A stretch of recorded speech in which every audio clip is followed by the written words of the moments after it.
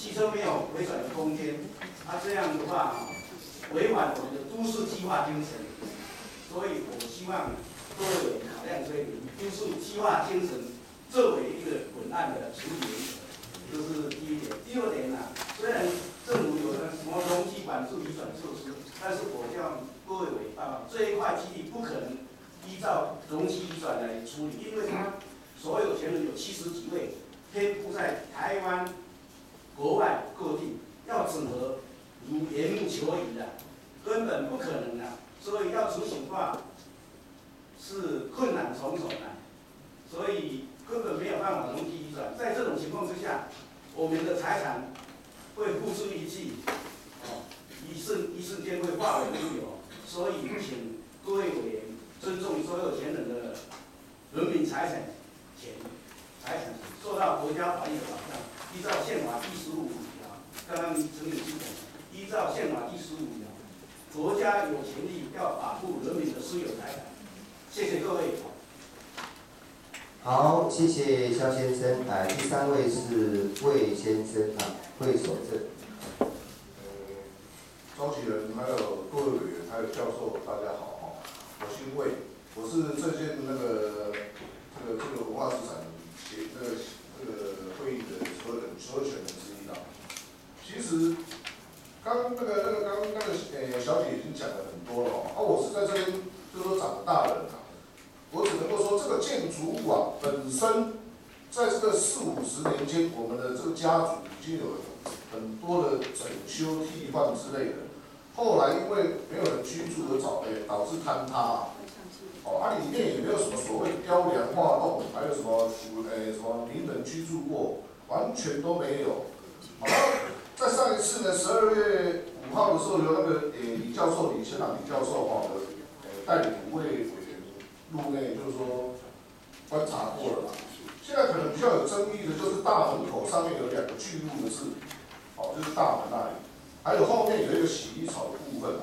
如果说以那个李教授还有那个另外五位委员的这种这种结论来讲啊，我我是认为说，如果哦，在他是如果真的说有新的那个那个建案，还是说变那个都跟的时候呢，我们很我们也很乐意啦，很乐意很愿意将这个呃台匾还有那个洗衣草融入在新的这个建筑物当中，这个我们很乐意来做，甚至于说上面还有提到说一个立碑的。立碑的那个问题，我们也很乐于乐于来配合啦。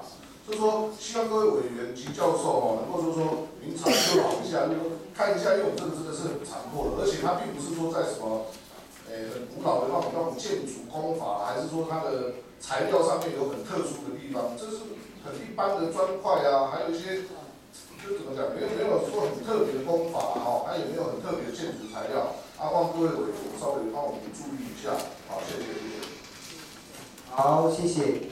呃，接下来我看那个你们是都同一家吗？这个魏君礼、魏义有是还是不同？个，都。哦，好，好，那要不要一起把它讲完？我再来请那个情报人再来做说明。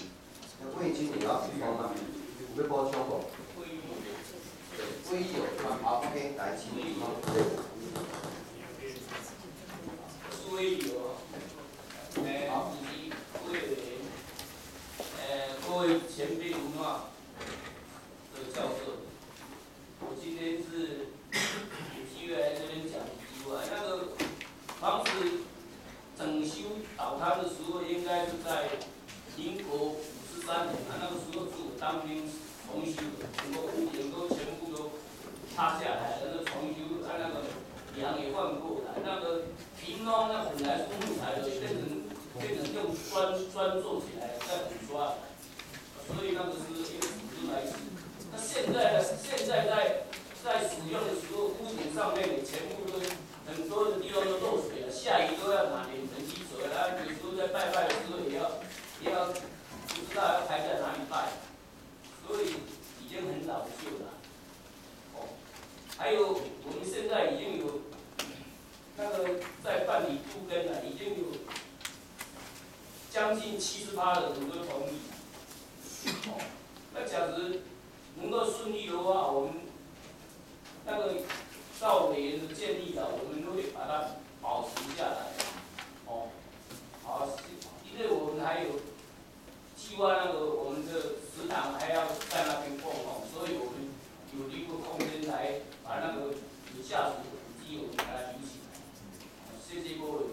好，谢谢。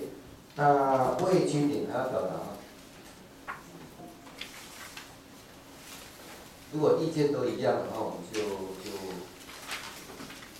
好，各位委员大家好，虽然我是所属权人，只是站在我出生、生长在不错的贵氏家族里面，个人的角度来看，记得从小父亲跟我说，站在田埂上，一望无际都是田，放眼望去都是我们贵家的产业。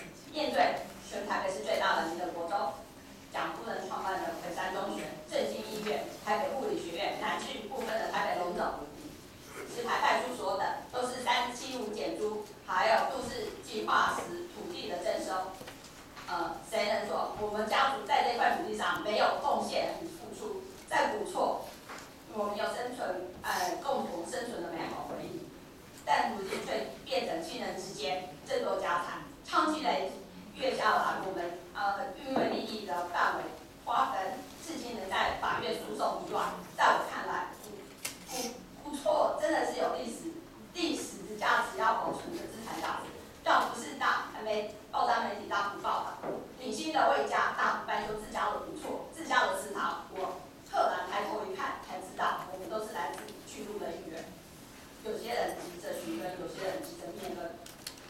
看到现场。呃，委员所出的报告，呃，我实在不懂，因为假如是古迹能够完整的保留，那就叫古迹了，那绝对是奇迹。看那个澳门的圣母院烧到只剩几根柱子，希腊神殿架废墟，不觉得说它没有历史文化的价值呢？就算一块匾额，还有一块洗衣石，那一点一滴都是长期累月历史留下来的见证，在没有被完全保存或风化破坏，一定是难免的。更何况，为了土地开发的利益，在第一次的会谈也没有公权力的介入，强强行的介入可以直接会谈，然后到第二次中间有空窗期，中间若是有任何的损坏，不免会，而且站在经济从经济利益、土地开发的巨大利益，家族反对声浪不断，站在市场权和改对面的土地保存。都是委员希望，我是希我我站在我个人的希望是希望委委员能看到我们不错的祠堂、汉水啊，因为讲事情啊那个啊都市计划的既有道主开，那一定是全部都拆除了，然后在废除的中间，我希望能废除中间的都市计划既有道，还有其他的严重排他的呃。其他严重排他的建立，奖励容积能够完整转移，保留保留土地原有开发价值，而不要减损。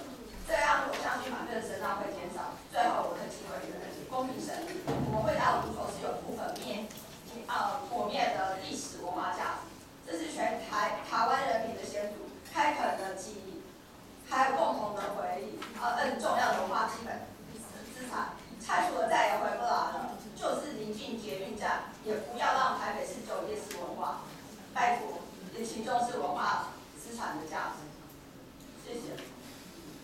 好，谢谢，来，谢谢哈。最后一位是肖文杰先生。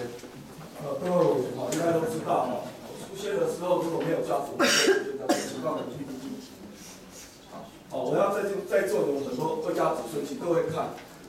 PPT 上第一章，他告诉你魏家在一九零九年就已经在这边，这是台湾总督府的资料，你告诉我们文化资产价值。那我们再看第二章，哦，好，那我最后放了一个石牌开拓的一个碑，范汉界碑。为什么要讲这个碑？哦，因为它这个碑里面牵扯到三大家族是，呃，北呃石牌的魏家、赖家、谢家三大家，但是这三大家族大部分的文字都不见，剩下魏家。好，尽快。好，那我们就看到它现在这个位置，好，现在的位置。那我们现在目前为唯一有保留就是代数古厝，非呃，其实也只有保留局部。来，再下一张。好，好，那这是它的呃现现状与呃面貌啊，再下一张。好，那我们依照我们要判断说这个房子是什么时候盖的，我们就可以从这边知资料里面可以知道哦，这上面已经有列资料。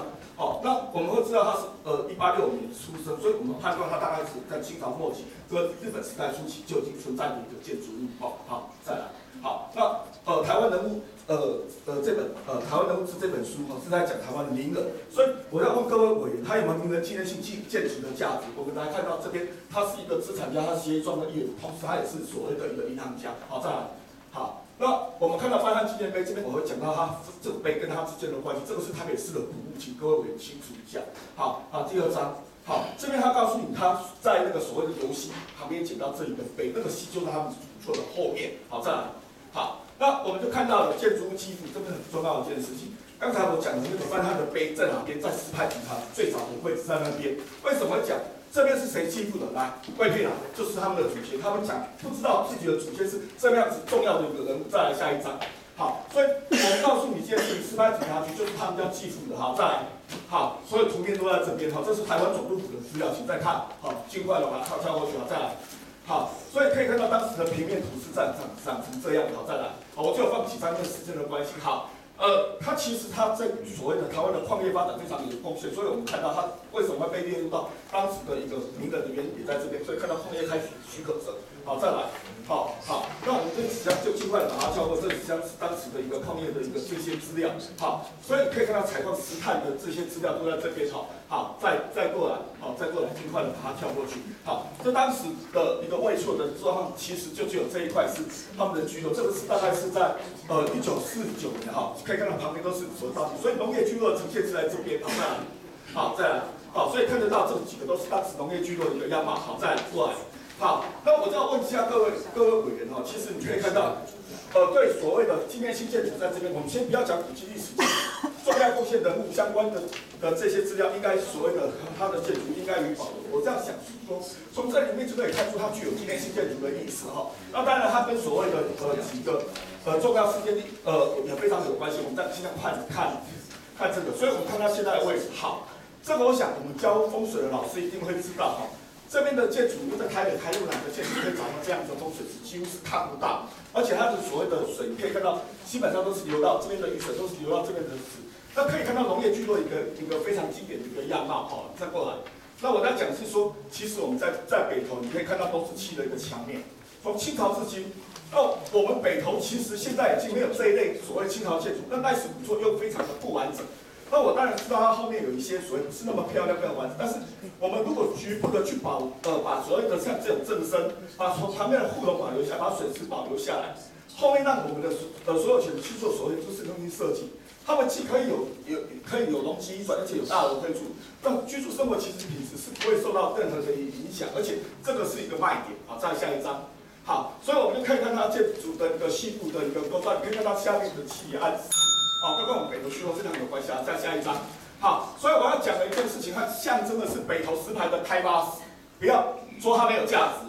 另外一个，魏家子孙其实在场看到我们祖先是非常的伟大的，见证了清朝日本时代统治时期的一个见证，居入行建就建作为这样子的见证，它不只是写一桩一元，这边其实写的比较比较草率，也太娟丽。我告诉各位。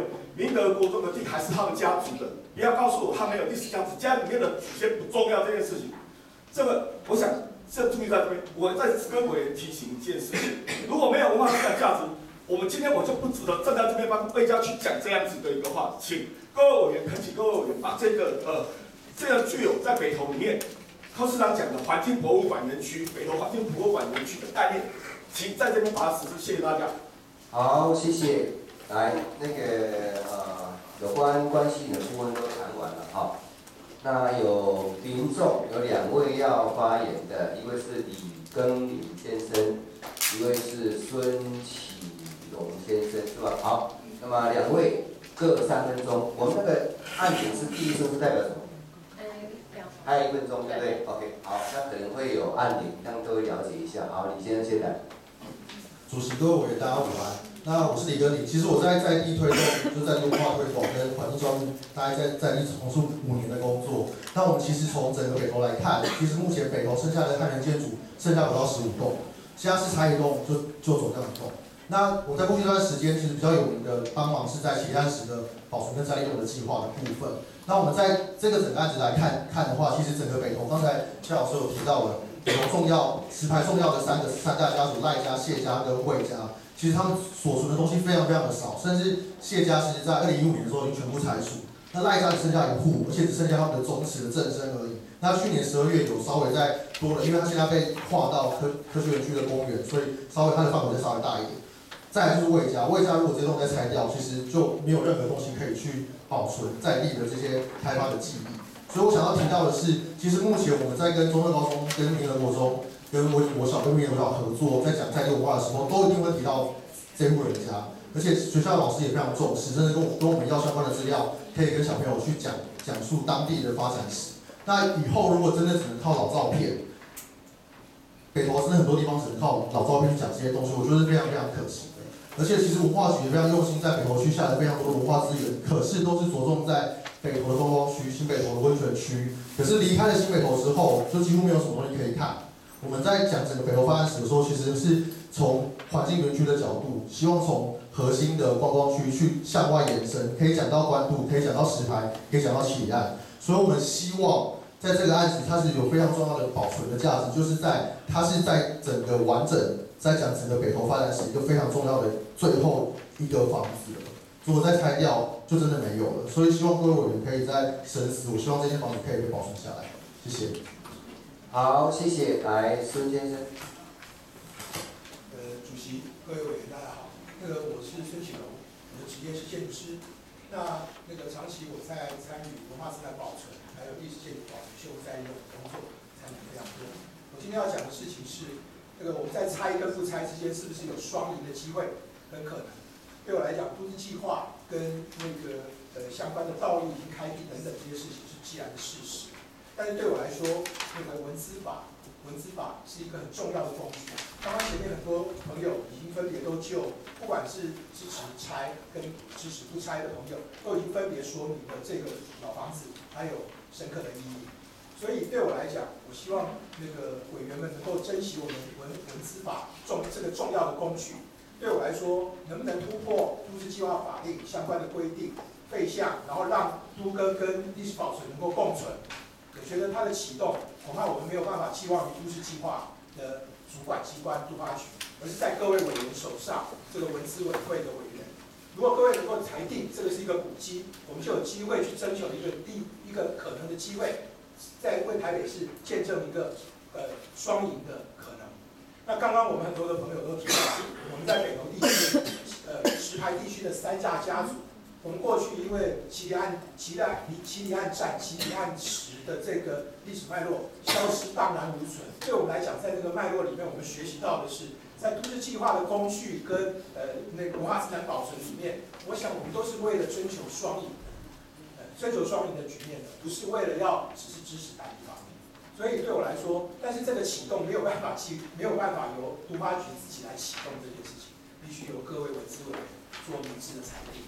所以对我来讲，也请主席能够站在一个整个全市发展、地区发展整体的脉络里面，能够珍惜这个难得的资源。能够争取一个失败的案例，让我们能够争取双赢跟多赢的局面。谢谢。好，好，谢谢。我们相关的这个发言就告一段落哈。那不知道各位委员有没有什么要呃提问的？有没有？好，没有，我们进行投票。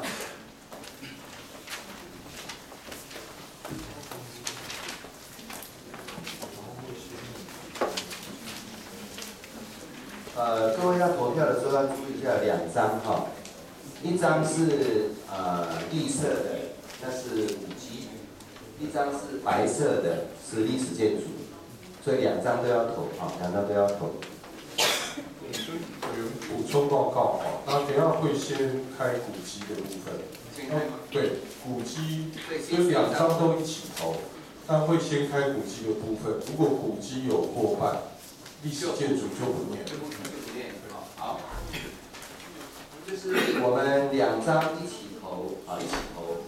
我等一下开票会先开绿色，如果古迹有过，意见就不开了，啊，因为它的强度比较强。